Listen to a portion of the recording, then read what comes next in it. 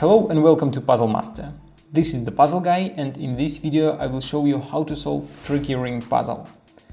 This puzzle has difficulty level 8 out of 10 and the object is to remove the ring from the puzzle. At first glance it looks like completely impossible to do since there are two ropes, they're attached together and there is no way how you can remove the ring. But there is a trick how to solve it and I will show it to you a little bit later. If you like Tricky Ring Puzzle and you want to buy it, go to puzzlemaster.ca. And now I will show you how to solve this puzzle. So to solve it, you have to uh, grab one of the strings, it doesn't matter which one you choose, blue or yellow, and do next steps. You have to grab, I, I'm gonna grab blue string, and now I have to put it inside the hole where the yellow string comes from.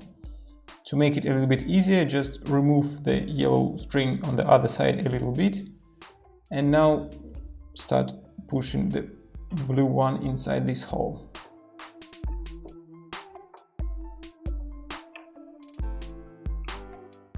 And now when a small loop of a blue uh, string is on the other side, all what you have to do is just put the yellow string inside and now remove the blue string back.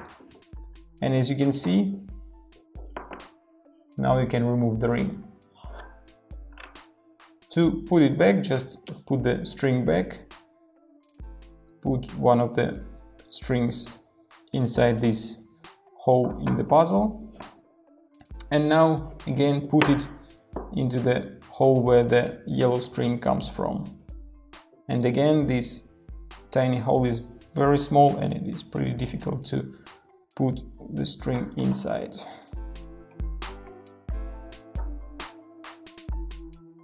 And when you were able to move the string inside, just put the yellow string inside the loop of a blue string and move the yellow string back and the puzzle is assembled again and the ring is locked inside the puzzle.